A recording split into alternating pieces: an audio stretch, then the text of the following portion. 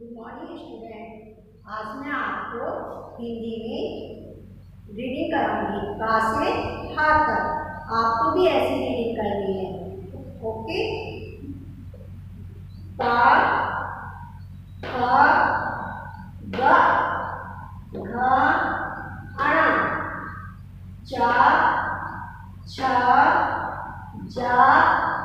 च